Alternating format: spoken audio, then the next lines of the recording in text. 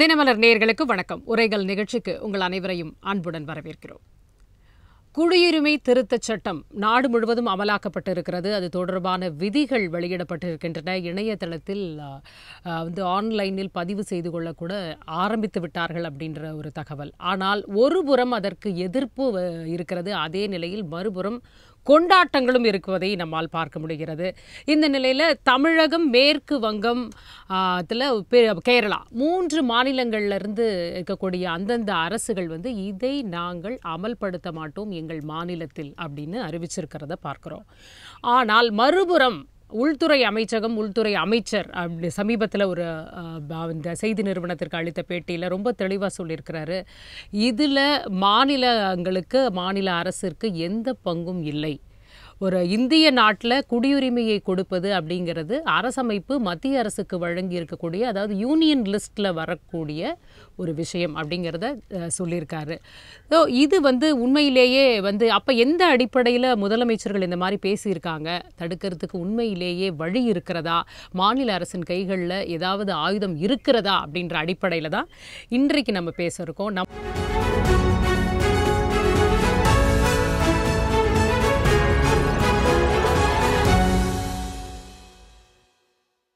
நம்மோடு இரண்டு கருத்துரையாளர்கள் இணைஞ்சிருக்காங்க. ஒருவர் நம்மோட வந்து இங்கே இருக்காரு. அரசியல் விமர்சகர் திரு ஜெயக்கண்ணன் அவர்கள். வணக்கம் சார். மற்றொருவர் ஆ, மொழியாக இணையமொழியாக இணைந்திருக்கிறார் அரசியல் விமர்சகர் திரு ரஞ்சித் அவர்கள். வணக்கம் வணக்கம் சார். நான் வந்து ஜெயக்கண்ணன் அவர்கள்ட்டேருந்தே ஆரம்பிக்கலாம் அப்படின்னு. எந்த அடிப்படையில் வந்து மாநில இங்கே இது அமல்படுத்தப்படாது அப்படின்ற உறுதிமொழியை முதல்வர் அளித்திருக்கிறார்? இல்லை ஆரம்பத்திலேருந்தே என்ன பார்த்தோன்னா உங்களுக்கு நீண்ட காலமாக அதாவது கொரோனாவுக்கு முன்னாடியே மிகப்பெரிய அளவில் அது வந்து எதிர்ப்பு கிளம்பின ஒரு விஷயம். அதற்கு பிறகு மத்திய அரசும் கொஞ்சம் ஆற போட்டு இப்போ ஆரம்பிச்சிருக்காங்க. என்ன செய்தினா இந்த இந்திய ஒன்றிய அரசின் கீழ் வரக்கூடிய இந்த குடியுரிமை சட்டத்தை அமல்படுத்துவது மத்திய அரசா மாநில அரசா அப்படிங்கிற கேள்வி. மத்திய அரசிற்கு உள்ள அதிகாரத்தின் அடிப்படையில் மத்திய அரசு கொண்டு வருவது தான். எந்த ஒரு சட்டம் பார்த்தீங்கன்னா மத்திய சட்டம் பாராளுமன்றத்தால் ஏற்றப்படும் போது மத்திய சட்டம் தான் ஆனால் அது மாநில உரிமைகளை பாதிக்கும் வண்ணம் இருந்தால் மாநில அரசு அதற்கு எதிர்ப்பு தெரிவிக்கலாம். ஒரு எடுத்துக்காட்டுக்காக சொல்கிறேன். தமிழ்நாடு என்பது தமிழை ஆட்சி மொழியாகவும். அலுவல் மொழியாகவும் கொண்டிருக்கிறது. இங்கு வந்து இந்தியை நீங்கள் திணிக்க நினைத்தால் அதற்கு தமிழ்நாடு அனுமதிக்க முடியாது. அதே போன்ற ஒரு கொள்கை தான் இந்திய குடியுரிமை சட்டம் குடியுரிமை சட்டத்தின் கீழ் சரியான வரையறையின் கீழ் மாநிலங்களுக்கு அளிக்கப்பட்டுள்ள உரிமையின் கீழ் இருந்தால் ஏற்றுக்கொள்ளலாம். மாநிலங்களுடைய உரிமைகளை பதி பறிக்கின்ற வகையில் அரசியலமைப்பு சட்டத்தினை மீறுகின்ற வகையில் அதன் சரத்துகளை மீறுகின்ற வகையில் இருக்கும்போது மாநிலங்களுடைய இறையாண்மைன்னு ஒன்று இருக்குது அதை மீறுகின்ற பொழுது இப்போ ஒன்றும் இல்லை சிபிஐ வந்து ஒரு மாநிலத்துக்கு வருதா அப்படின்னு மேற்கு வங்கத்திலும் தமிழ்நாட்டிலலாம் ஏற்கனவே எதிர்ப்பு வந்தது நீங்கள் பார்க்கலாம். அது போன்ற ஒரு செய்தியைத்தான் இந்த குடியுரிமை சட்டத்தில் மாநில அரசு அவர் நம்முடைய முதலமைச்சர் மு க ஸ்டாலின் அவர்களும் மிக தெளிவாக சொன்னதன் காரணம் அதுதான். தமிழ்நாட்டில் அனுமதிக்க முடியாது. கேரளாவில் அவங்க சொல்லியிருக்கிறது அதுதான். என்னன்னா மாநிலங்களுடைய உரிமைகளை மாநிலங்களுடைய இறையாண்மை காட்டக்கூடிய அனைத்து மாநிலங்களுமே இதற்கு எதிர்ப்பு தெரிவிக்கும் எனக்கு தெரிஞ்சு தமிழகத்துல அந்த அந்த அந்த லிஸ்ட்ல இருக்கிறவங்க இருக்காங்களா அப்படிங்கறதே ஒரு பெரிய சந்தேகம் தான் இருக்காங்களான்னு தெரியல. கம்மியா இருக்கிறதுக்கு வாய்ப்பு இருக்கு. இருக்காங்க இல்லையாங்கிறது இல்ல இல்ல. அதை தாண்டி இருந்தாலுமே இத வந்து நடைமுறையில இப்ப சொல்லிட்டாரு உறுதிமொழி கொடுத்துட்டாரு. நடைமுறையில இது சாத்தியமா? இதை எப்படி செய்ய முடியும்னு நான் கேக்குறேன். மாநிலங்களால் கண்டிப்பாக எதிர்க்க முடியும். மாநிலங்களால் அனுமதிக்க முடியாது என்று சொல்வதற்கு அனைத்து உரிமைகளும் இருக்கிறது. அந்த அடிப்படையில் இப்போ ஒன்றும் இல்லை. இப்போ வந்து உங்களுடைய ஒரு சட்டம் உருவாக்கப்பட்டதுனாலேயே மத்திய அரசின் கீழ் இயங்கக்கூடிய இன்னும் நல்லா ஒன்று தெரிஞ்சுக்கணும். எல்லாருமே ஒன்றிய அரசுன்னு சொல்லும்போது என்னமோ மாநிலத்திற்கு ஆதரவான பேச்சாகவும் மத்திய அரசுக்கு எதிரான பேச்சாகவும் நினைக்கிறோம். ஒன்றியங்களின் கூட்டமைப்பு அப்படிதான் அரசமைப்பு சட்டம் சொல்லுது. அதாவது இந்திய அரசு இந்திய ஒன்றியங்களின் கூட்டமைப்பு. இன்னும் கூட தெளிவா சொல்லுவாங்க. அதாவது ரெண்டாயிரத்தி இருபத்தொன்னுக்கு அப்புறம் கண்டுபிடிச்சதுனால தான் பிரச்சனையா இல்ல அது அதாவது செய்தி என்னன்னா இந்தியாவில் இருக்கக்கூடிய மாநிலங்கள் ஒவ்வொன்றும் ஒரு தனித்தனி நாட்டிற்கான கூறுகளோடு கூடிய மாநிலங்கள். வெள்ளையர்களின் ஆட்சியின் கால காலத்தில் மாநிலங்கள் ஒருங்கிணைக்கப்பட்டதனால் அதன் பிறகு மொழிவாரி மாநிலங்கள் பிரிக்கப்பட்டதால் மாநிலங்களுடைய ஒருங்கிணைந்த கூட்டமைப்பு தான். ஒரு மாநிலம் என்பது உங்களுக்கு தமிழ்நாடுன்னு சொல்கிறோம்னாவே அதனுடைய ஒரு ஸ்ட்ரக்சரே பார்த்தீங்கன்னா ஒரு நாட்டிற்குரிய ஸ்ட்ரக்சர் இருக்குது நாடுங்கிறதே உங்களுக்கு நேஷன் தான். தமிழ்நாடு. அந்த அடிப்படையில் தான் தமிழ்நாடுன்னு வச்சுருக்கோம். தெலுங்கு தேசம்னு சொல்கிறாங்கன்னா அந்த அடிப்படையில் தான். ஒவ்வொரு மாநிலத்திற்கும் அதற்குரிய உங்களுக்கு இறையாண்மையோடு இருக்கிறார்கள். அந்த மாநில மொழி இருக்கிறது. அந்த மாநிலத்திற்கென்று தனியாக வந்து சின்னங்கள் இருக்கிறது. தனி விளையாட்டு இருக்கிறது. அப்ப மாநில இறையாண்மையை நாம் பாதுகாக்க அது வேண்டியது வந்து நமக்கு நம்மளுடைய அரசமைப்பு சட்டம் கொடுத்த அந்த அந்த உரிமையில தான் அந்த உரிமையில தான் மாநிலத்திற்கு எதிரான ஒரு சட்டம் நிறைவேற்றப்படும் பொழுது அதை எதிர்க்கின்ற. மாநிலத்திற்கு எந்த விதத்துல எதிரான ஒன்றும் இல்லை. ஈழத்தமிழர்களுடைய நம்ம எல்லாம் நினைச்சிட்டு இருக்கோம் ஈழத்தமிழர்கள் இங்க வரக்கூடியவங்க ஒரு ஒரு மூன்று காலகட்டத்தில் தமிழர்கள் வந்திருக்காங்க. எல்லாரும் நினைக்கிற மாதிரி இந்தியாவிலிருந்து போய் உங்களுக்கு இலங்கையில முழுமையா இருந்தவங்கள்ல ஈழத்தமிழர்கள். ஈழத்திலேயே பிறந்து அதாவது அங்க இருக்கக்கூடிய பிறப்பின் அடிப்படையிலான தமிழர்கள் இருக்காங்க. அடுத்து கொழும்புல இருக்கக்கூடிய உங்களுக்கு வணிகருக்காக போன தமிழர்கள் இருக்காங்க. இது தவிர வெள்ளையர்கள் ஆட்சியில கண்டி போன்ற அந்த தேயிலை தோட்டத்திற்கு போன தமிழர்கள் இருக்காங்க. அங்கிருந்து போனவர்களை தாயகம் திரும்பியோர்னு சொல்லும்போது பூர்வீக தமிழர்களை என்ன சொல்லிடுறாங்க? இவங்க இந்தியாவுல இருந்து போய் அங்க பிரச்சனை பண்றாங்க அப்படிங்கிற. அகதிகளாக வருகிறப்ப தாயகம் திரும்பியோரையும் ஒரே மாதிரி நாங்கள் பார்க்க முடியாது. இப்போ உங்களுக்கு இதில் வந்து பார்த்தீங்கன்னா ம- பங்களாதேஷ்ல இருந்து வரக்கூடிய அந்த ரோஹிங்கியா முஸ்லீம் இந்த பர்மாலாம் சொல்கிறாங்களே முஸ்லீம்களுடைய இப்போ வங்காளிகளும் அதாவது முஸ்லீம்களாக இருந்தாலும் மேற்கு வங்கத்தில் அனுமதிக்கக்கூடிய சூழல் இருக்கிறது.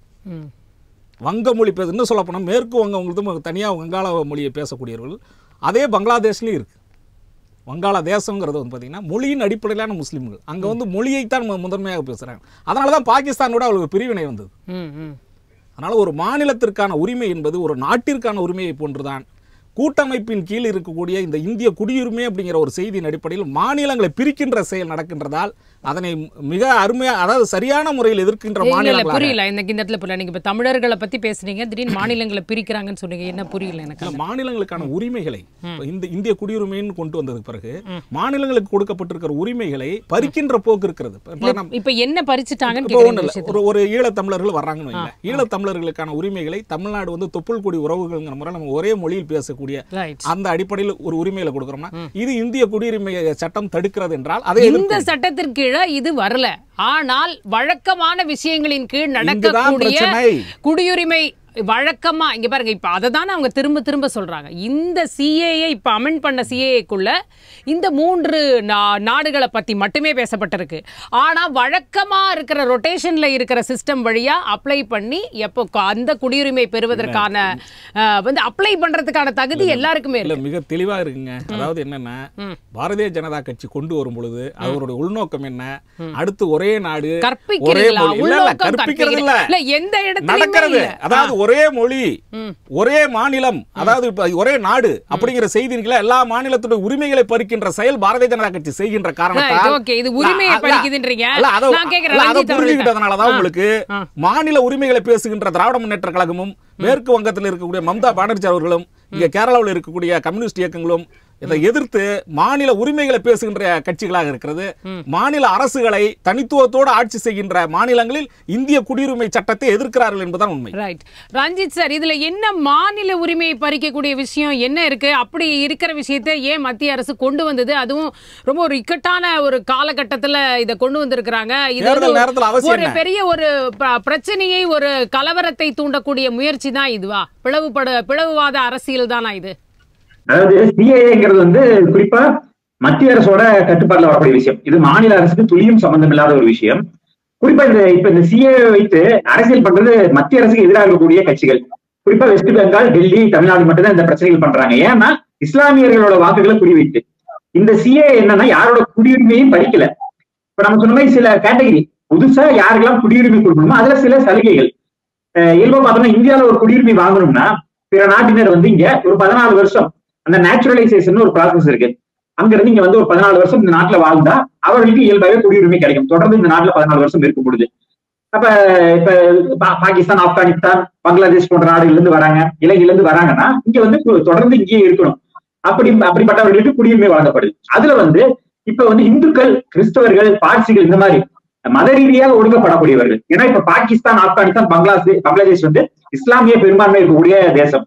அங்க அந்த மக்களுக்கே சிக்கல்கள் இருக்கு. இன்னும் சொல்ல போனா பலுச்சிஸ்தான்ல இஸ்லாமியர்களே வந்து சிக்கலுக்கு உள்ளாகிறாங்க இன்னைக்கு பாகிஸ்தான் மக்களே வந்து அ- அல்லோல படுறாங்க. ஏன்னா அங்க இருக்கக்கூடிய பாகிஸ்தான்ல கூடிய நண்பர்களோட பேச பொழுது அங்க மக்கள் பாகிஸ்தான் மக்கள் ரொம்ப நல்லவர்கள் தான். அங்க இருக்கக்கூடிய ஆட்சியாளர்கள் அங்க இருக்கக்கூடிய ராணுவ அந்த ராணுவ ஆட்சி வரும்பொழுது அந்த மக்களை வந்து ரொம்ப கொடுமைப்படுத்துறாங்க அப்ப அந்த மாதிரி சிக்கல்கள் இருக்கு. அப்ப இஸ்லாமியர்களுக்கே அங்க சிக்கல் இருக்கு அப்படிங்கிறப்ப இந்துக்கள் எப்படி வாழ முடியும்? அங்கிருந்து அவர்கள் வந்து வெளியேற்றப்படுகிறார்கள். ஏன்னா நமக்கு தெரியும் ஆயிரத்தி தொள்ளாயிரத்தி நாற்பத்தி ஏழுல பாகிஸ்தான்ல எத்தனை இந்துக்கள் இருந்தாங்க? இன்னைக்கு எவ்வளவு இந்துக்கள் இருக்காங்க? அப்படிங்கிறத பாக்குறோம். இன்னைக்கு இந்துக்கள் இந்துக்களை விட இஸ்லாமியர்கள் தம் இந்தியாவுல நல்லாதான் வாழ்றாங்க அப்படின்னு தான் சொல்லணும். அந்த அளவுக்கு எல்லா சலுகைகளுமே அவர்களுக்கு கிடைக்குது. இங்க எந்த ஒரு மத ரீதியான ஒடுக்குமுறையுமே கிடையாது. இங்க உச்சபட்ச அதிகாரமான குடியரசுத் தலைவரா கூட ஒரு இஸ்லாமியர் வர முடியும். அதுதான் வந்து இந்த நாட்டோட ஒரு தன்மை. அதை பெரும்பான்மை இந்துக்களும் ஆதரிக்கிறாங்க. இதுதான் யதார்த்தமான விஷயம். அப்ப இங்க வந்து என்னன்னா இந்த சிஏஏல இஸ்லாமியர்களை வந்து சேர்த்தல அப்படிங்கிற ஒரு விஷயம். ஏன்னா அவர்களுக்கு இது தேவையில்லை. பாகிஸ்தான் ஆப்கானிஸ்தான் பங்களாதேஷ் வந்து பெரும்பான்மை இஸ்லாமியர் நாடு. அங்கிருந்து அவர்கள் வந்து மத ரீதியாக ஒடுக்கப்பட்டு வரப்போறது இல்லை ஒருவேளை அந்த நாட்டுல அவர்கள் வாழ முடியாம இங்க வராங்கன்னா அவர்களுக்கான ஒரு வழிமுறை இருக்கு. இங்க வந்து ஒரு பதினாலு வருஷம் இருந்து அவர்களோட அந்த எந்த ஒரு கிரிமினல் பேக் பேக்ரவுண்டும் இல்லாம இருந்தா அவர்களுக்கும் நிச்சயமாக சிட்டிசன்ஷிப் கொடுக்கப்படும் அப்படிங்கிறதுல மாற்று கருத்தே இல்லை. பல்வேறு வழிமுறைகள் இருக்கு. இங்க வரக்கூடிய ஈழத்தமிழர்களுக்குமே சில சில அந்த விஷயங்கள் இருக்கு. இப்ப குறிப்பா ஈழத்தமிழர்களுக்கு அதை கொடுக்கணும்னு சொல்லி ஒரு கோரிக்கை வைத்தாங்க. அதை பரிசீலித்து பின்வரும் காலங்கள்ல அதையும் சேர்த்துவோம் அப்படின்னு சொல்லியிருக்கிறாங்க. அதே பல சிக்கல்கள் என்ன சொல்லியிருந்தாங்க மத்திய அரசு? இப்ப இங்க வந்து ஈழத்தமிழர்கள் அண்ணனே சொன்னாரு ஈழத்தமிழர்கள் வந்து இலங்கையை பூர்வீகமாக கொண்டவர்கள். அவர்கள் இந்தியாவில போல அங்கேயே பிறந்து வளர்ந்தவர்கள். அவர்கள் அந்த அந்த தாயகத்துல அவர்கள் வாழணும்னு நினைக்கிறாங்க. அவர்களுக்கு இங்க குடியுரிமை கொடுக்கறது இந்தியாவோட வேலை இல்ல. அந்த சொந்த மண்ணிலேயே வடகிழக்கு வடகிழக்குல வந்து அவர்களுக்கான உரிமையை மீட்டு கொடுத்து அவர்களுக்கான காணி உரிமையை மீட்டு கொடுக்கணுங்கிறதா இந்தியா முயற்சி பண்ணதே தவிர அவர்களுக்கு இங்கே இங்க வந்து குடியுரிமை கொடுத்தா அவர்களுக்கு அந்த உரிமைகள் பறிக்கப்படும் அப்படிங்கிறது தான் யதார்த்தமான உண்மை. இலங்கையோட பிரச்சனை வேற பாகிஸ்தான் பங்களாதேஷ்ல இருக்கக்கூடிய பிரச்சனைகள் வேற அப்படிங்கிறது தான் யதார்த்தமான சூழ்நிலை. அதனால இது வந்து குறிப்பா என்னன்னா இந்த இஸ்லாமியர்களை இணைக்கணும்னு இவர்கள் கேட்டிருந்தா கூட நம்ம ஏத்துக்கலாம். அது வந்து நியாயமான கோரிக்கை. இப்ப ஈழத்தமிழர்கள் இணைக்கணும்னு கேட்ட மாதிரி இஸ்லாமியர்களையும் இணைச்சுக்கோங்க அப்படின்னு ஒரு கேட்கறதுல கூட ஒரு சில நியாயமான கோரிக்கை இருக்கலாம். அந்த கூட நம்ம சொன்ன மாதிரி பங்களாதேஷ்லயுமே இஸ்லாமியர்களுமே சிக்கலுக்கு உள்ளாகிறாங்க பாகிஸ்தான்லயுமே மக்கள் கஷ்டப்படுறாங்க. ஆப்கானிஸ்தான்ல இஸ்லாமிய மக்கள் கஷ்டப்படுறாங்க. அங்கிருந்து அவர்கள் இங்க வந்து பச்சை தேடி வந்தா அவர்களை அரவணைக்கணும். இந்தியாவுக்கு வந்து எப்பயுமே எல்லாரையுமே அரவணைச்சு பழக்கம். அந்த தன்மையில நீங்க கூப்பிட்டு கொடுங்கன்னு சொல்லி கேட்கறது வந்து இயல்பானதா இருக்கும். நீ முஸ்லீமுக்கு கொடுக்கல நீ இந்துக்களுக்கும் கொடுக்காத. யாருக்குமே கொடுக்காத அப்படிங்கிறது வந்து எப்படி ஒரு நியாயமான வாதமா இருக்கும். அதுதான். அதிகமா பாதிக்கப்படுறது யாரு? இந்துக்கள் தான். பாகிஸ்தான்ல பாதிக்கப்படுற யாரு? இந்துக்கள். அவர்களுக்கு அங்க வந்து வாழவே வழி இல்லாம இருக்கிறாங்க. அங்க வந்து அவர்களுக்கு வழிபாடு உரிமை மறிக்கப்படுது. அதனால அவர்கள் அங்கிருந்து தப்பித்து பிழைத்து இங்க வராங்க உயிர் கஞ்சி வராங்க. அவர்களுக்கு இந்தியா வந்து இருகரம் தூக்கி இருகரம் தூக்கி அவர்கள் வரவேற்று இங்க உரிமை கொடுக்க பாக்குது இதுதான் யதார்த்தமே தவிர இது வந்து வெறுமனே தேர்தல் நேரத்துல இஸ்லாமியர்கள் ஓட்டு வாங்க மாநில கட்சிகள் வந்து அரசியல் பண்றாங்க. வெஸ்ட் பெங்கால்ல அந்த பங்களாதேஷ் ஊடுருவல் இருக்கு. அதனால அவர்கள் வந்து அந்த இஸ்லாமியர்கள் ஓட்டு வந்து வேணுங்கிறதுக்காக சிஏவை நாங்க அமல்படுத்த விட மாட்டோம். ஏன்னா அது இஸ்லாமியர்களுக்கு எதிரானது அப்படிங்கிற ஒரு பிம்பம் உருவாயிட்டனால தொடர்ந்து வந்து டெல்லியும் ஏன்னா டெல்லியிலும் கணிசமான இஸ்லாமியர்கள் ஓட்டு அதே அரவிந்த் கெஜ்ரிவால் புரிய வச்சு சொல்றாரு. இன்னும் ஒரு படி மேல போய் அரவிந்த் கெஜ்ரிவால் விவரம் தெரியாதவர் இல்ல. அவருக்கு தெரியும். எது யாருக்கு சிஏ ஆனா அவர் என்ன சொல்றாரு? அங்கிருந்து வரவங்களுக்கு எப்படி வேலை வாய்ப்பு கொடுப்பீங்க? எப்படி உரிமை கொடுப்பீங்க? அப்ப அந்த மக்களுக்கு அந்த மக்கள் பாதிக்கப்பட்டு வராங்க. அவர்களை வந்து அரவணைக்க தேவையில்லையா? அப்ப அரவிந்த் கெஜ்ரிவால் என்னன்னா வெறும் ஓட்டு அரசியல் மட்டும்தான் பண்றாரே தவிர மனிதாபிமானம் மனசாட்சியோட அவர் நடந்துக்கல அப்படிங்கறதுதான் யதார்த்தமான சூழ்நிலை. தமிழகமும் அதே தன்மையோட இருக்க போகுதா? பிற மாநிலங்களோட தமிழர்களுக்கு என்னைக்குமே ஒரு கூடுதலா வந்து இந்த மனித நேயம் மாண்பு இருக்கும். ஆனா நம்மளும் அதை வந்து சிஏ அமல்படுத்தக்கூடாதுன்னு சொன்னா அப்ப ம- மத ரீதியாக ஒடுக்கப்பட்ட இந்துக்கள் வந்து அங்கேயே சாகணும் இங்க வந்து குடியுரிமை பெற்று வாழக்கூடாதுன்னு மு க ஸ்டாலின் அவர்கள் வந்து இந்துக்களை ஒழிக்க பார்க்கிறாரா? இந்துக்களுக்கு எதிராக இருக்கிறாரா? அப்படிங்கிற கேள்வி எழுது இல்லையா? சரி. இப்போ நிஜமாவே அங்கே இருக்கக்கூடிய இந்துக்களுக்கும் வந்து இப்போ வர வேண்டாம் அப்படின்ற மாதிரி ஐடியா இருக்கா அப்படின்றத கேட்குறாரு இப்போ அதையும் தாண்டி மாநில அரசுக்கு இவ்வளோ உரிமை இருக்குது அனுமதிக்க மாட்டோம்னு சொல்கிறதுக்கு உரிமை இருக்குது அப்படின்னா வந்து யாருக்கு குடியுரிமை கொடுக்கணும் அப்படின்னு முடிவு பண்ணக்கூடிய உரிமை வந்து மாநில அரசுக்கு இருக்குன்னா ஈழத்தமிழர்களுக்கு கொடுத்துருங்களேன். அப்படிப்பட்ட உரிமை இல்லாததுனால தானே நீங்கள் இவ்வளோ நாளாக கேட்குறீங்க அப்போ எப்படி இதுக்குள்ளே நீங்கள் ஸ்டெப் இன் பண்ண முடியும்னு நான் கேட்குறேன் வெறும் அனுமதிக்க மாட்டோங்கிறது ஒரு வார்த்தை ஜாலமாகத்தானே பார்க்குறோம் அதாவது இப்போ நீங்கள் நீ ஆரம்பத்துலேருந்து சொன்னது நீட்டு. அதுவும் வந்து க அது வந்து கண்கரண்ட் லிஸ்ட்டில் இருக்குது இன்னி வரைக்கும் அது வந்து நீ நீதிமன்றத்துக்கு போனால் தான் தீர்வு. இல்லை குடியரசுத் தலைவர் கொடுத்தாதான் தீர்வுன்னு தெரிஞ்சே நாங்கள் வந்தோட மொதல் கையெழுத்து போடுவோம்னு சொல்லப்பட்டது. அது மாதிரி இந்த விஷயத்திலையும் அந்த மாதிரி ஒரு ஸ்டேட்மெண்ட்டை இப்போ சொல்லி தேர்தலில் ஆதாயம் தேட பார்க்கிறதா திமுக. கொஞ்சம் நீங்கள் வரலாறை திரும்பி பார்த்தீங்கன்னா ம். தமிழ்நாடு என்பது சமூக நீதிக்கான மண்ணு மண்ணுன்னு சொல்லும்போது. அண்ணன் ரஞ்சித் அண்ணனுக்கு தெளிவாக சொல்லிடுறேன். அதாவது தமிழ்நாடு அரசு இங்கே தமிழ் மண் என்பது ஒரு இடஒதுக்கீட்டிற்கான சமூக நீதிற்கான மண் அப்படின்னு சொல்லும் பொழுது இதை வந்து எல்லாருமே வந்து ஏதோ ஒரு கேலி சித்திரம் போல நினைக்கிறாங்க. இந்த அகில இந்திய அளவில் தேசிய அளவில் இடஒதுக்கீட்டு கொள்கைக்கான ஒரு மாதிரியாக அது ஒரு முன்னோடியாக இருந்த மாநிலம் என்றால் அது தமிழ்நாடு தான். அடிப்படை உரிமைகளை அரசியலமைப்பு சட்டத்தின் கீழ் இருக்கக்கூடிய அடிப்படை உரிமைகளை பாதிக்கிறது இடஒதுக்கீடு அப்படிங்கிற ஒரு வழக்கு செண்பகராஜன் அப்படிங்கிற ஒரு வழக்கு நடந்தது. அந்த வழக்கின் அடிப்படையில் உச்சநீதிமன்றம் வரை சென்ற பொழுது முதன் முதலில் அடிப்படை உரிமைகளில் இடஒதுக்கீட்டிற்கான எதிர்ப்புணர்வு வரக்கூடாது என்பதற்காக முதல் முதலில் சட்ட திருத்தம் கொண்டு வரப்பட்டது தமிழ்நாட்டில் இட வழங்கப்பட்ட இடஒதுக்கீடு என்பதால். அதுபோல் மகளிர் இடஒதுக்கீடு என்பதை ஒரு காலத்தில் வந்து மிகவும் பார்த்தீங்கன்னா அதெல்லாம் ஒரு கனவு திட்டம் போல நினச்சிக்கிட்டு இருந்த காலகட்டத்தில் முத்தமிழஞ்சர் கலைஞர் அவர்களின் சார்பில் கொண்டு வரப்பட்ட சட்டம் தான் இன்றைக்கு இந்திய அளவில் கொண்டு வரப்பட்டிருக்கு. இந்தியாவில் என்றைக்குமே பற்றி பண்ணால் பாராளுமன்றத்தில் வந்து மகளிர் இடஒதுக்கீடையே வந்து எல்லாரும் வலுவாக எதிர்க்கின்ற சூழ்நிலையில் தமிழ்நாட்டில் ஏற்கனவே முப்பத்தி மூன்று சதவீதத்தை கொண்டு வரப்பட்டு இன்றைக்கு ஐம்பது சதவீதம் வரை கொண்டு வரப்பட்ட ஒரு மாநிலமாக தமிழ்நாடு இருக்கிறது.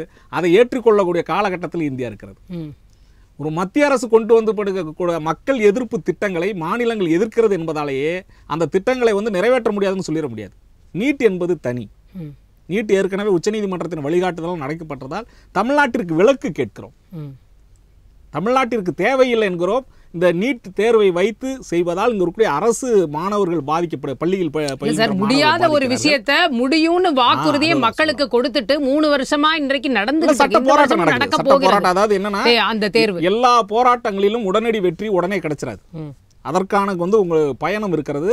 இன்னும் சொல்லப்போனால் ஒவ்வொரு முறையும் அதற்கான முயற்சிகளை செய்து கொண்டே இருக்கிறார்கள். வெற்றி பெறுவது இப்போ ஜல்லிக்கட்டு போராட்டத்தை வந்து நேரடியாக ஏற்கனவே அதெல்லாம் பயங்கரமான ஒரு எதிர்ப்பு இருந்த காலகட்டத்தில் இன்றைக்கு ஜல்லிக்கட்டு வந்து உங்க சட்டத்தினுடைய பாதுகாப்புபடி நடக்குது. ம். நீங்க சொன்னதுல எல்லாத்துலயும் வந்து ரெண்டு கட்சிக்குமே பங்கு இருக்கிறத பாத்துக்கலாம் நீங்க வந்து ஒரு கட்சிக்கு மட்டுமே திராவிட முன்னேற்ற. கழகம்னு சொல்ல அண்ணா திராவிட முன்னேற்ற கழகத்தை சேர்த்து தான் சொல்றேன். தமிழ்நாட்டிலுடைய மக்கள் நலனுக்காக இருக்கக்கூடிய அரசுகளாக இருக்க பட்சத்தில் அதற்கான வெற்றிகளை நாம் கொண்டாடுது. பாரதிய ஜனதா கட்சி என்பது அகில இந்திய அளவில் கொண்டு வரக்கூடிய சட்டங்கள் மாநிலங்களுடைய உரிமைகளை பாதிக்கிறதாக இருக்கிறது. இந்துக்களுக்கு மட்டுமான ஒரு சட்டமாக சார். குடியுரிமை கொடுக்கிற உரிமை வந்து மாநிலங்களுக்கு இருக்கு. அதுல இப்போ ஒரு சட்டத்தை கொண்டாந்து பிரச்சனை பண்ணா நீங்க சொல்றது மாநிலத்தின் உரிமையை பறிக்கிறதுன்னு சொல்லலாம். இப்ப அப்படி ஒண்ணு நிகழல. குடியுரிமை கொடுக்கிறது அப்படிங்கிறது கான்ஸ்டிடியூஷனோட செவன்த் ஷெட்யூல் பிரகாரம் வந்து மத்திய அரசுக்கு கொடுக்கப்பட்டிருக்கக்கூடிய ஒரு. உரிமை. இந்தி- இந்திய குடியுரிமையை மாநில அரசு எந்த இடத்துலயும் கொடுக்க கூடாதுனோ ம். அதாவது இதுல வந்து இந்திய இறையாண்மை பாதிக்கப்படுறதுன்னு சொல்ல மாநில அரசுகளுடைய உரிமைகளை பாதிக்கின்ற வண்ணம் ஏதேனும் சரத்துகள் இருக்கக்கூடாது என்பதுதான் எங்களுடைய கோரிக்கை. அதை தெளிவா புரிஞ்சுங்க. ஈழத்தமிழர்களுக்கு உரிமையா? கொள்கையா? இல்ல இதுல இதுல பெரிய குழப்பமா இருக்குது. மாநில அரசின் உரிமையா? இல்ல எந்த கட்சி ஆளுதோ அந்த கட்சியுடைய கொள்கையை பாதிக்குதா? இது இந்த இந்த இடத்துல ஒரு சின்ன கிளாரிட்டி மாநில அரசுகளுடைய அந்த எந்த கட்சி ஆட்சியில் இருக்கிறதெல்லாம் இல்ல. மக்களுடைய உரிமை தான் முக்கியம். அது எந்த கட்சி வேணா ஆட்சியில் இருந்துட்டு போகலாம். நீங்க அடிக்கடி சொல்றீங்க ஈழத்தமிழர்கள் அந்த உரிமையை கொடுத்துடலாமா கொடுத்துடலாமா? ஈழத்தமிழர்களோட பிரச்சனை அவர் அண்ணன் நான் சொன்ன மாதிரி அது மூன்று விதமான தமிழர்கள் இருக்கின்ற சூழலில் தாயகம் திரும்பியோர் என்பது இங்கிருந்து போனவங்க திரும்பி வரவங்க. அவங்களுக்கு உரிமை கொடுக்கறதுல பிரச்சனை இல்லை. இப்ப இரட்டை குடியுரிமைன்னு ஒண்ணு இருக்கு தெரியுங்களா? உங்களுக்கு பன்னாட்டு சட்டத்தின் அடிப்படையில் இங்கிருந்து ஒரு மா ஒரு நாட்டிற்கு நீங்க சென்ற இரட்டை குடியுரிமை அவர்களுக்கு வாக்குரிமை உண்டு. அவர்கள் வந்து என்ஆர்ஐ சீட்டு உண்டுங்க. இது மாதிரியான வந்து உரிமைகள் அதாவது இன்றைக்கு இருக்கக்கூடிய மானுட நியாயத்தை பேசுகின்ற உலக அளவில் பார்த்தீங்கன்னா அவன் மனிதனாக இருக்கின்றான் அப்படின்னு மத ரீதியாக பிரிக்கக்கூடாது என்பதுதான் கோரிக்கை. இந்தியா பாகிஸ்தானே மத அதான் ரீதியா சொல்ல வரேன். பிரிந்த இல்ல, நாடு தானே ஒ- ஒண்ணு சொல்லிடுறேங்க. அதாவது பல நாடுகளுடைய. அந்த கூறுகளோடு கூடிய. இன்னைக்கு இல்ல நான். சொல்றதை விட இது அமித்ஷா அவர்கள் பேசியிருக்காரு. மத ரீதியாக பிரிந்த நாடுகள். சோ அந்த அப்படி இருக்கும்போது அங்க இருக்கக்கூடிய மைனாரிட்டிஸ பத்தி தான் நம்ம கவலைப்பட முடியும் உங்களுக்கு ஒரு. விஷயத்தை அவர் சொல்லியிருக்காரு. சோவியத் யூனியன் சொல்லி பல நாடுகளுடைய கூட்டமைப்பாக இருந்தது. யுஎஸ்எஸ்ஆர் அப்படிங்கிறது அதோடைய. சோவியத் யூனியன் ஒரு கட்டத்துல வந்து அந்த ஒவ்வொரு மாநிலங்களுடைய உரிமைகளை அந்த யூனியன் வந்து பாதுகாக்க முடியாத பட்சத்துல அந்த நாடுகள் ஒவ்வொன்றுக்கு சிதறினது. பல நாடுகளாக போனது. அதற்கான காரணம் அங்க மொழிவாரி மாநிலங்களாக பிரிஞ்சு அதை மாநிலங்களாக இருந்தது நாடுகளாக பிரிக்க வேண்டிய சூழல். அதாவது பெரிய நாடாக இருக்கும் போது அந்த ஒரு நாட்டின் கீழ் இயங்கக்கூடிய மற்ற மாநிலங்களுடைய சிறப்பாக செயல்பட முடியாத வண்ணம் தடுத்த காரணத்தால். அதுபோன்று இந்தியா ஆய்விடக்கூடாதுன்னு தான் நம்மளுடைய கோரிக்கை. இல்ல அது அந்த போன்ற ஒரு சூழ்நிலையை தொடர்ந்து உருவாக்குறீங்களா? இது அது அதனாலதான் அந்த வார்த்தையை நீங்க அந்த அந்த வார்த்தையை காயின் பண்ணும்போதே அதை தான் தடுத்தாங்க. ஒரு தேசமா இருக்கிறத ஒன்றிய அரசு ஒன்றியம் ஒன்றியம் சொல்லி சொல்லி இத இப்படி குறுக்காதீங்க. இது வந்து இந்த இந்த எண்ணம் வந்து ஒரு சரியான போக்கு இல்ல. ஏன்னா. ஆரம்பத்துல அவர்களே. கொள்கையை கொள்கை- தானே கொள்கையை அன்னைக்கு தெளிவா சொன்னார் அறிஞர் அண்ணா அவர்கள். பாராளுமன்றத்தில் பேசும்பொழுது சொன்னார். திராவிட நாடு கோரிக்கையை நாங்கள் கைவிட்டு விட்டோம். ஆனால் அதற்கான காரணங்கள் அப்படியே இருக்கின்றன. அதாவது ஒரு நாட்டுடைய பிரிவினை என்பதை பேசுவதற்கு நீங்கள் எங்களை வந்து ஒரு கூட்டு குடும்பத்தில் இருக்கோம். ஒரு நான்கு மகன்கள் மூணு மகன்களுக்கு நீங்கள் வந்து சரியான முறையில் இல்லை ரெண்டு மகன்களுக்கு சரியான உரிமைகளை கொடுத்துட்டு ஒருவரை நீங்கள் பிரித்து வைக்கிற போது அவங்களுடைய அந்த உரிமைகளை வந்து மறுக்கின்ற பொழுது அவன் தனி குடித்தனம் போவானா இல்லையா. இதை நீங்கள் பிரிவினைவாதம்னு சொன்னீங்கன்னா அது பிரிவினைவாதம் தான் அப்படி பார்த்தா இல்ல மாவட்டத்துக்கு மாவட்டம் பிரச்சனை வந்து எல்லாமே பிரிஞ்சதுன்னா அப்ப தமிழ்நாடு நம்ம பெருமையா சொல்லிக்க முடியாது தெளிவா? சொல்றது என்னன்னா ஒரு மாநிலங்களுடைய உரிமைகளை மத்திய அரசின் கீழ் இருக்கக்கூடிய அனைத்து மாநிலங்களையும் ஒரே போன்று அதாவது அது என்ன சொல்ற தாயன்போடு பார்க்கின்ற ஒரு மத்திய அரசாக இருக்க வேண்டும். மாநிலத்திற்கு இடையில் எந்த வேறுபாடுகளையும் பார் தன்னுடைய கட்சி ஆட்சி இதுல. நிஜமாவே உரிமை என்ன பாதிக்கப்பட்டதுன்னு எனக்கு இப்ப வரைக்குமே மிக தெளிவாக இருக்குங்க. அதாவது இந்துக்களுக்கு மட்டும் கொடுக்கக்கூடிய உரிமைகளை இந்த இந்திய குடியுரிமை சட்டம் கொண்டு வந்து விடுவோங்கிற ஒரு அச்சுறுத்தல் ஒரு பயம் இருப்பதால் அதற்குரிய இங்க அனைத்து மக்களுக்கான உரிமைகளை கொண்டு வர்றாங்க கிளியரா எக்ஸ்பிளைனும் பண்றாங்க நடக்காது. இப்ப ஒரு இங்க இருக்கிற சிட்டிசன் பத்தியே பேசல. இந்திய குடிமகன்கள் யாருக்குமே பத்தி இது இது வந்து இந்திய குடிமகன்களுக்கான சட்டமே இல்லை. இந்த மூன்று நாடுகள்ல இருந்து வரக்கூடிய ஆட்களுக்கான ஒரு சட்டம். அவர்களுக்கு குடியுரிமை கொடுக்கக்கூடிய சட்டம். யாருடைய குடியுரிமை பறிக்கக்கூடிய சட்டம் அல்ல. வரக்கூடிய ரொம்ப தெளிவா. கொண்டு வரக்கூடிய பாரதிய ஜனதா கட்சி மீது எங்களுக்கு நம்பிக்கை இல்லை. அந்த கட்சி வந்து இந்த முறை ஆட்சியில் இருந்து அகற்றப்பட வேண்டும் என்ற கோரிக்கை அவசர- அவசரமா இந்த இந்திய குடியுரிமை சட்டத்தை கொண்டு வருவதற்கான காரணம் அதாக நினைக்கிறோம். கண்டிப்பா வந்து இதனை ஏற்றுக்கொள்ள முடியாது அவசர சொன்னது அவசரமா இல்ல பிறகு டூ தௌசண்ட் நைன்டீன்லயே முடிவாக்கப்பட்டது? நாலு வருஷம் கழிச்சு தான் இப்ப அஞ்சு வருஷம் கழிச்சு தான் எப்ப கொண்டுட்டு. வந்தாலும் சரி அதற்கான வந்து காரணங்கள் வந்து சரியான முறையில் இல்லைங்கம்மா அந்த சட்டத்தை எதிர்ப்பார்கள். அவ்வளவுதான். இல்ல இல்ல ஒரு கண்மூடித்தனமான எதிர்ப்பு தேர்தல் நேரத்துல பலன் கொடுக்கும்னு நினைச்சு செய்யப்படுதா? கண்டிப்பா கிடையாது. இந்த தேர்தல் அப்படி பார்த்தா எதிர்ப்பு ரெண்டாயிரத்தி பத்தொன்பதுல இருந்து எதிர்த்துக்கிட்டு இருக்கோம். ரெண்டாயிரத்தி இருபத்தி ஒண்ணுல அதனால தான் வந்து பாத்தீங்கன்னா இஸ்லாமியர்களுடைய கோரிக்கைக்காக இல்ல. உலக அளவில் இருக்கக்கூடிய எந்த மனிதர்களா இருந்தாலும் இந்திய குடியுரிமை என்பது அதற்கு எதிரானதாக மாறிவிடக் கூடாது என்பதற்காக எதிர்க்கக்கூடிய சரியான காரணங்களோடு எதிர்க்கிறார்கள். இன்னும் சொல்ல போனால் நியாயமான காரணங்கள் அதற்கான நிஜமாவே ஏதாவது. சரியான காரணங்கள் இருப்பதா பார்க்கறீங்களா? இந்த இந்த மாநிலங்கள் இப்ப மேற்கு வங்கம் அதே நேரத்துல கேரளா தமிழ்நாடு டெல்லி. மேஜர் பஞ்சாப். அஞ்சு இடங்கள்ல இருந்தா எதிர்ப்பு வந்திருக்கு. டெல்லியில கூட வந்து அனுமதிக்க மாட்டோம். அந்த அந்த மாதிரியான பேச்சுக்கள்லாம் வரல நம்ம பாக்குறோம். ஆனா ஆனா அவர் வந்து வேற விதமா எதிர்த்தார். நீங்க முன்னாடியே சொன்னீங்க. அவங்க எல்லாம் இங்க வந்துட்டா இங்க இருக்கிறவங்களுக்கு எல்லாம் என்ன கிடைக்கும்? ஏற்கனவே இங்க இருக்கிறவங்களுக்கு எதுவுமே கிடைக்கல. இங்க இருக்க வேலை இல்லாம இருக்கான். அப்ப அவங்க எல்லாம் வேற வந்தா இன்னும் கஷ்டம் அப்படின்ற ஆங்கிள் அவர் கொ- கொடுக்கறத பார்க்க முடியுது. உண்மையிலே இது நியாயமான காரணங்கள் இருக்கா இந்த எதிர்ப்புல? ஏன்னா அவங்க ஆல்ரெடியே இந்தியாவில தானே இருக்காங்க. எனக்கு வந்து இது புரியல. என்ன காரணங்கள் இருக்கிறதா நீங்க பார்க்குறீங்க நியாயம்? இல்ல காரணம் இருக்கு ஆனா அது நியாயம் இல்ல. காரணம் என்னன்னா ஓட்டு வங்கி அவ்வளவுதான். அதாவது இதுல வந்து என்னன்னா இஸ்லாமியர்கள் மத்தியில ஒரு அச்சம் உருவாயிருக்கு. அவர்களுக்கு எங்க குடியுரிமை பறிக்கப்படுமோ அப்படின்னு. ஏன்னா அது குடியுரிமை திருச்ச திருத்த சட்டம்னு வரும்பொழுது அவங்க வந்து இருக்கக்கூடிய குடியுரிமையை பறிச்சிருவாங்களோங்கிற ஒரு பிம்பு ஒரு அரசியலை உருவாக்கிட்டாங்க. அதனால அவர்கள் அச்சப்பட்டு இருக்கனால இந்நேரத்துல போய் இதுக்கு ஆதரவு தெரிவிக்க முடியாது. ஏன்னா அதுல வந்து எந்த ஒரு அச்சமும் பட வேண்டிய விஷயம் இல்ல. அதை மக்கள்கிட்ட சொல்லி விளக்க நேரம் இல்ல. இதை வைத்து எப்படியாவது அரசியல் பண்ணணும். அது பாஜக கொண்டு வந்தனால இது இஸ்லாமிய அத ரொம்ப அவசரமா இப்ப எலெக்ஷன் டைம் நெருங்குற நேரத்துல கொண்டு வந்துட்டு விளக்க நேரம் இல்லை அப்படின்னு சொல்றது சரியா இருக்குமா? இல்ல விளக்க நேரம் இல்லைன்னா இந்த திமுக திமுகவா இருக்கட்டும் இல்ல வெஸ்ட் பெங்கால் இருக்கக்கூடிய ஆட்சியா இருக்கட்டும் திரிணாமுல் காங்கிரஸா இருக்கட்டும் இதனால இஸ்லாமியர்கள் பாதிப்பு இல்லைங்கிறத எடுத்து செல்ல அவர்களுக்கு நேரமும் இல்லை மனமும் இல்லை. இது சரி அப்ப அஸ்ஸாம்ல ஏன் பிரச்சனை வருது? இப்ப அஸ்ஸாம்லயும் ஒரு போராட்டத்தை பாக்குறோம் நம்ம. இப்ப கரண்டா நடந்துகிட்டு இருக்கு அந்த சைட்லயும் அப்ப அதை அப்ப அதை எப்படி நீங்க நியாயப்படுத்த போறீங்க? ஏன்னா ஏற்கனவே அங்க என்ஆர்சினால பெரிய பிரச்சனை வந்தது. பல லட்சம் பேர் அங்க வந்து டிடென்ஷன்ல இருக்காங்க. அவங்க இவங்க வந்து வெஸ்ட் பெங்கால் சீஃப் மினிஸ்டர் ரொம்ப கிளியராகவே சொல்றாங்க. யாரெல்லாம் நீங்க அப்ளை பண்ணுறீங்களோ நீங்க எல்லாம் வந்து அகதிகள் தான். வந்து டோட்டலா உங்க லைஃபே மாறிடும். ஓ, நீங்க வந்து அந்த முகாமில் தான் போய் தங்க வேண்டி வரும் அப்படின்ற விஷயங்கள் எல்லாம் அவங்க எடுத்துட்டு போறாங்களே? அதெல்லாம் எப்படி பாக்குறீங்க? இல்ல அது அது வெறும் அரசியல் வெறும் பூச்சாண்டி. இப்ப என்ஆர்சியில வந்து சில சிக்கல்கள் வரலாம். அது வந்து நம்ம வந்து பேசி தீர்க்க வேண்டிய விஷயங்கள் இருக்கு. அதுல காம்ப்ளிகேட் இருக்கு. என்ஆர்சி வந்து நேஷனல் ரெஜிஸ்டர் ஆஃப் சிட்டிசன் வந்து சில காம்ப்ளிகேட் இருக்கு. அதுல வந்து ப- பழைய ஆட்களுக்கு பர்த் சர்டிபிகேட் சில இதெல்லாம் இருக்காது. சில சிக்கல்கள் இருக்கு. அதுல மாட்டு கருத்து இல்ல. ஆனா சிஏஏ முழுக்க முழுக்க யாருக்குமே எந்த சிக்கலுமே இல்ல. அந்த இந்த பாகிஸ்தான் ஆப்கானிஸ்தான் பங்களாதேஷ்ல இருந்து வரக்கூடிய இந்துக்கள் மட்டுமல்லாம கிறிஸ்தவர்களும் பார்சிகளும் அவர்களுக்குமே கிறிஸ்தவர்கள் கூட தான் இருக்கு. இங்க இந்தியால மைனாரிட்டி சொல்லக்கூடிய கிறிஸ்தவர்களுக்குமே கூட அது வந்து சலுகை கொடுக்குது. அப்ப கிறிஸ்தவர்கள் இங்க வர வேண்டாம்னு திமுக சொல்லுதா? இன்னொன்னு என்னன்னா இதுல இரட்டை வேடம். ஒண்ணு சிஏஏ வேணும்னு சொல்லுங்க இல்ல வேண்டாம்னு சொல்லுங்க. சிஏல இல்ல ஈழத்தமிழர்கள் இன்க்ளூட் பண்ணணும்னு கேட்கிறோம் ஆனா சிஏஏ வேண்டாம் அமல்படுத்த கூடாதுன்னு சொல்றோம். அப்ப என்ன பண்ணணும்? மத்திய அரசு குழம்பு போயிடும் போல. அப்ப இவங்களோட அரசியலுக்காக ஒரு சட்டத்தை ஒரு நல்ல சட்டத்தையே ஒரு பா- பாதிக்கப்பட்ட மக்கள் ஒரு அப்பாவி மக்களுக்கு கிடைக்க வேண்டிய ஒரு உரிமையவே பறிக்க பாக்குறீங்க அப்படிங்கறத யதார்த்தமான உண்மை. இப்ப வந்து வெஸ்ட் பெங்கால்ல என்ன பாலிட்டிக்ஸ்னா மம்தா பானர்ஜியை பொறுத்தளவுக்கு அவங்களுக்கு ஒரே கல்லுல ரெண்டு மாங்கா ஒண்ணு என்னன்னா இஸ்லாமியர்களை அச்சுறுத்தி பாஜக எதிராக ஓட்டு அறுவடை செய்வாங்க. இன்னொன்னு என்னன்னா அங்க பங்களாதேஷ்ல வந்த இந்துக்கள் பெரும்பான்மையா இருக்கக்கூடிய அந்த பாதிக்கப்பட்டு உள்ள வந்த இந்துக்களுக்கு உரிமை கிடைக்காம இருக்குது. சில பேருக்கு அந்த குடியுரிமை கிடைச்சிருக்கு சில பேருக்கு குடியுரிமை கிடைக்காம நான் சொன்னேன் பதினாலு வருஷம் அந்த மாதிரி சில கேட்டகரி இருக்கு. அது கண்டினியூஸா அவர்கள் இருந்திருக்கணும் இந்த மாதிரி பல்வேறு காரணங்களால அது காலதாமதம் ஆயிட்டு இருக்கு அவர்களுக்கு விரைவா கிடைக்க போகுது அப்படிங்கிறப்ப அதெல்லாம் வாக்கு வங்கியா பாஜக மாறும். ஏன்னா அந்த அந்த சமூகத்தில இருந்து ஒருத்தர் அந்த அந்த குறிப்பிட்ட சமூகத்துல இருந்து ஒருத்தர் இப்ப மத்திய அமைச்சரா இருக்காரு. அவர் இங்க குடியுரிமை பங்களாதேஷ்ல இருந்து இங்க அகதியா வந்து இங்க குடியுரிமை பெற்று இங்க வந்து அவர் வந்து மத்த பிஜேபி அரசு இல்லை நிறைய பேருக்கு ஆல்ரெடி வாக்கே இருக்கே. குடியுரிமை தானே இல்லை. அப்படி ஒரு வந்து செட் ஆஃப் பீப்புள் தானே வெஸ்ட் பெங்காலை பொறுத்த வரைக்கும் இருக்காங்க இல்லையா? வாக்குரிமை இருக்கு ஆனா குடியுரிமை இல்லை. இல்ல வாக்குரிமையோட சேர்த்து குடியுரிமையும் அவர்களுக்கு கிடைக்கும். குடியுரிமையோட சேர்த்து வாக்குரிமையும் இருக்கு. பல பேருக்கு குடியுரிமையே கிடைக்காம இருக்கு. குடியுரிமை இல்லாதவங்க வாக்குரிமை இல்லாம இருக்காங்க. அதுதான் யதார்த்தமான சூழல். மம்தா அவர்கள் என்னன்னா இப்ப நிறைய ஆதார் போலி ஆதார் கொடுத்து போலி ஓட்டர் ஐடி கொடுத்து நிறைய ஓட்டர் ஓட்டர்ஸ் வந்து ஆட் பண்ணிருக்காங்க அதுவே ஒரு சிக்கலா போயிட்டு. இப்ப சிஏஏவை ஆரம்பி கொண்டு வந்துட்டாங்கனாவே அமல்படுத்திட்டாங்கன்னா என்ஆர்சி வந்துரும்ன்ற சொல்றாங்களே. சிஏஏ வந்துட்டாவே அடுத்து என்ஆர்சி வந்துரும் அப்படின்ற ஒரு பயம் இருக்கு. இப்ப அதுக்கு என்ன பதில் கொடுக்க போகிறது?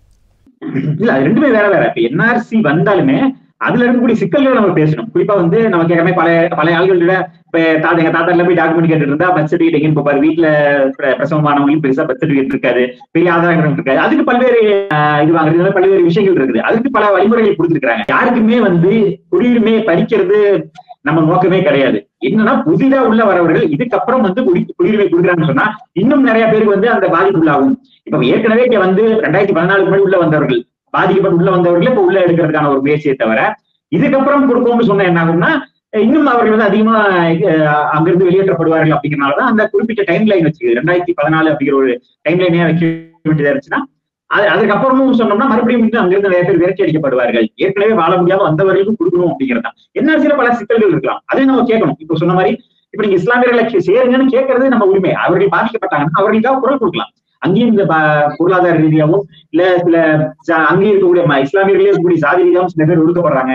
அவங்களுக்கும் இங்க சலுகைகள் கொடுங்க ஜெயகண்ணன் சார் இதாவது இப்போ நடைமுறையில் இப்போ பார்த்தீங்கன்னா ரெண்டு கமிட்டி அப்படிங்கிறாங்க. ஆன்லைனில் அப்ளை பண்ணலான்னு சொல்கிறாங்க ரெண்டு கமிட்டிலையும் பார்த்தீங்கன்னா மெஜாரிட்டி அங்கே இருக்கக்கூடிய உறுப்பினர்கள் வந்து சென்ட்ரல் கவர்மெண்ட் மத்திய அரசு ஊழியர்களாகத்தான் இருக்க போகிறார்கள்.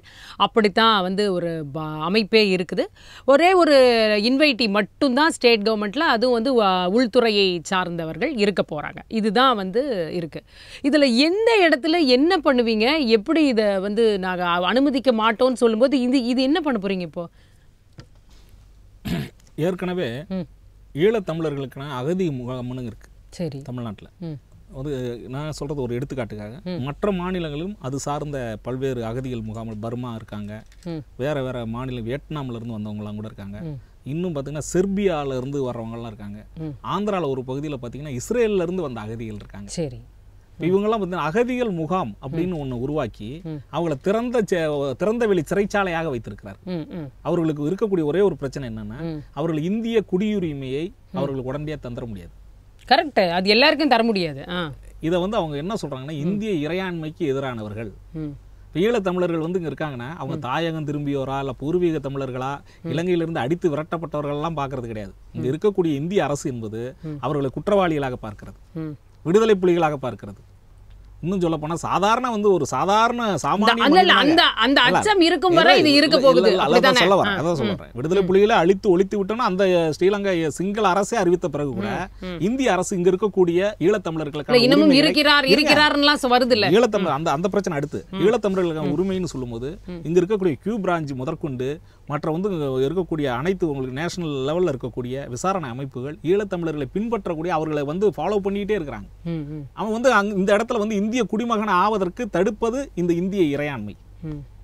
இந்த இடத்துல அவர்களுக்கான தெளிவான ஒரு வரையறையை கொடுக்காமல் நீ இந்த இந்த குடியுரிமை சட்டத்தை கொண்டு வந்து கொடுக்கறோம் அதையும் கன்சிடர் பண்றோம். இதுல இல்ல ஆனால் கன்சிடர் பண்றோம் அவர் சொன்னதுக்காக ஈழத்தமிழர்களை சேர்க்கணும்னு சொல்றாங்கன்னா இதுதான் காரணம்.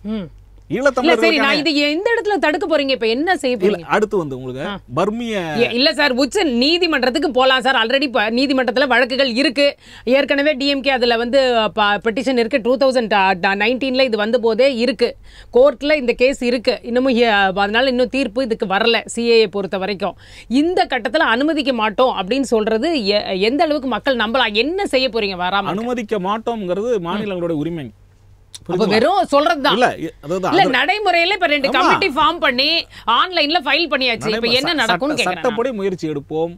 எங்களுடைய நான் என்ன சொல்றேன் இந்த மாநிலங்களோட உரிமைகளை பாதிக்கின்றவனம் இந்திய குடியுரிமை சட்ட திருத்தம் வந்தால் மீண்டும் நடைமுறைப்படுத்தப்பட்டால் மீண்டும் இல்ல ச- நடைமுறைப்படுத்தப்பட்டுருச்சு. இல்ல, அதான் சொல்றேன். அதை கடுமையாக எதிர்ப்போம். இந்த இடத்துல இன்னொன்னையும் சொல்லிடுறேன். ஏற்கனவே முப்பெரும் குற்றவியல் சட்டங்களை வந்து பெயர்களை மாற்றி அறிவிக்கக்கூடிய அதையும் வழக்கறிஞர்களாக நாங்க எதிர்க்கிறோம். இதெல்லாம் பாத்தீங்கன்னா எதை நோக்கிய பயணம்னா இந்த பாரதிய ஜனதா கட்சி ஆட்சி திரும்ப வரும் பட்சத்தில் அரசியலமைப்பு சட்டத்தையே மாற்றுவதற்கான முயற்சி அதற்கான முன்னோடி திட்டங்களாக தான் அதெல்லாம் செஞ்சுக்கிட்டு இருக்காங்க. அதற்கு இந்த இந்திய மக்கள் என்றைக்கும் அனுமதிக்க முடியாது. இந்த தேர்தலில் பாரதிய ஜனதா கட்சி அகற்றப்படும். அதற்கு அவ- அவர்களே கொண்டு வந்ததுதான் இந்த இந்த குடியுரிமை சட்ட திருத்தம். அப்படி அவ்வளவுதான். அப்படி அப்படியே அப்படியே கொண்டு வந்தாங்கன்னா அவங்க வேற ஏதோ நலனை யோசிச்சு கொண்டு வந்திருக்காங்கன்னு அர்த்தம். தங்களுடைய வந்து இத கூட ஆட்சியோ ஓட் பேங்க் பத்தி கவலைப்படல. இந்து மதத்தை நோக்கி அவங்க இந்து மதத்தை வைத்து இந்து மதத்திற்கென்றே அரசியல் செய்கின்ற ஒரு கட்சியாக அரசியலமைப்பு சட்டத்திற்கு எதிரான கட்சியாக இருக்கின்ற பாரதிய ஜனதா கட்சி அகற்றப்பட வேண்டும்.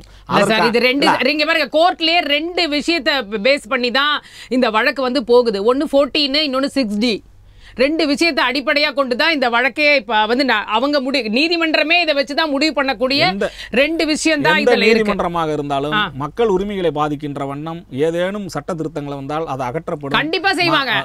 அது அதுல ஒண்ணும் சந்தேகம் இல்ல. அது வந்து கோர்ட் முடிவு பண்ணிக்கிட்டோம். போறேன்.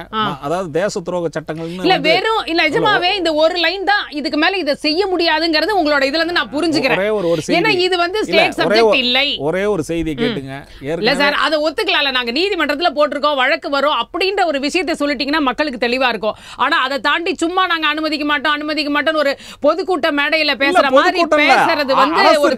இல்ல, மாநில இறையாண்மைன்னு ஒண்ணு இருக்குங்க தமிழ்நாட்டிற்கென்று இறையாண்மை இருக்கு தமிழ்நாட்டிற்கென்று இறையாண்மை இருக்குது. இந்திய இறையாண்மை அனுமதிக்க ஒரே ஒரு செய்தி இருங்க. முடியாது. முயற்சி நீங்க சொல்லிடுறேன். சொல்றது எதிர்ப்பை வேறு விஷயம்னா நீதிமன்றத்திற்கு போய் உங்க- நம்ம உங்க- அதை செய்ய முடியும். உங்களுடைய- ஏற்கனவே இல்ல, போயாச்சு. உங்களுடைய உரிமைங்கிற பேர்ல என்னை அடிமைப்படுத்துவதற்கான சட்ட திருத்தமாக இருந்தால் இதை அதை சொல்றது நான் வந்து எதிர்ப்பேன். போராட்டத்தை மறைமுகமாக தூண்டுகிறீர்களா? அதெல்லாம் கிடையாது. மாநிலங்களுடைய உரிமைகளை பேச வேண்டிய இடத்தில் நாங்கள் இருக்கிறோம். அதற்கான ஒரு சரியான செயல். திட்டத்தை முதலமைச்சர் அறிவித்திருக்கார். ரஞ்சித் சார் கடைசியா சொல்லுங்க. அதாவது நிஜமாவே ஸ்டேட் கையில ஏதாவது இருக்கா? ஏதாவது செய்ய முடியுமா? அவங்க சொல்ற மாதிரி வந்து உரிமை உரிமை நாங்க வந்து எல்லா விதத்திலையும் இதற்காக போராடுவோம்னு சொல்றாங்க. இது வந்து இப்ப அத- அதை பார்த்துட்டு இதை நிறுத்தி வைப்பதற்கான வாய்ப்புகள் இருக்கா? ஸ்டேட்டு கிட்ட ஏதாவது ஒரு ஆயுதம் இருக்கா? இதை தடுத்து நிறுத்த. மாநில அரசு கிட்ட என்ன ஆயுதம் இருக்குன்னா மக்களை போராட விட்டு வேடிக்கை பார்த்து அதன் மூலியமா ஒரு அழுத்தம் கொடுக்கலாம். இந்த டெல்லியில பண்ண மாதிரி வேணா சில விஷயங்கள் பண்ணலாமே தவிர இந்த மாதிரி ஒரு வன்முறையை போராட்டத்தை தூண்டிவிட்டு உள்நாட்டுக்குள்ள ஒரு குழப்பத்தை உருவாக்கலாம். அதை தவிர மாநில அரசால இதுல வேற எதுவுமே செய்ய முடியாது. அது தேவையும் இல்லைங்கிற நம்ம சொன்ன மாதிரி என்ஆர்சியில சில அஹ், சிக்கல்கள் இருந்தா அதை பேசி தீர்க்கணும். அதற்கான கமிட்டி நம்ம ஃபார்ம் பண்ணி அதுல யாருமே பாதிக்கப்படாத அளவுக்கு என்னென்ன விஷயங்கள் இருக்கோ அதை நம்ம வந்து ஒரு எக்ஸ்பர்ட் கமிட்டி போட்டு செய்யலாம். இல்லையா அந்த சிஏல இஸ்லாமியர்களை கொண்டுவாங்க அஹ், அப்படின்னு சொல்லி இஸ்லாமியர்கள் ஓட்டு வங்கியை கூடி வச்சு இப்படிவாது நல்லது செய்யலாம். இஸ்லாமியர்களுக்கும் வேண்டாம் கிறிஸ்தவர்களுக்கும் வேண்டாம் பார்சிகளுக்கும் வேண்டாம். குறிப்பா இந்துக்களுக்கு வேண்டவே வேண்டாம்னு சொல்லி இந்துக்களை அழித்து ஒழிக்கணும்னு சொல்லி கங்கணம் கட்டி கொண்டு திமுக கிளம்புறது வந்து ரொம்ப வருத்தமா இருக்குது. யாதும் போலே யாரும் கேள்வி சொல்லி எல்லாரையும் உள்ள அரவணைக்கணும். ஆனா அதை தவிர்த்து நம்ம வந்து யாரையுமே உள்ள விடக்கூடாது. எவன் கேடு கேட்டாலும் பரவாயில்ல. இந்துக்கள் செத்தாலும் பரவாயில்ல கிறிஸ்தவர்கள் செத்தாலும் பரவாயில்ல சிஏ வரக்கூடாது அப்படிங்கிற ஒரு எண்ணத்துல திமுக இருக்குதே தவிர இதை வைத்து வரக்கூடிய தேர்தல்ல ஓட்டு அரசியல் பண்ண பாக்குறாங்க அதே தவிர இதுல வேற எதுவுமே பண்ண போறது தேர்தல் முடிஞ்சதும் சிஏ அது பாட்டுக்கு இருக்கும். இவர்கள் அவர்கள் பாட்டுக்கு அவர் வேலையை பார்ப்பாங்க. எந்த ஒரு மாற்றமும் வரப்போறது இல்லை சரி. கருத்துக்களை பகிர்ந்து கொண்ட உங்கள் இருவருக்குமே மிக்க நன்றி. மீண்டும் மற்றொரு நிகழ்ச்சியில் சந்திக்கும் வரை நன்றி கூறி விடைபெறுகிறேன். வணக்கம்.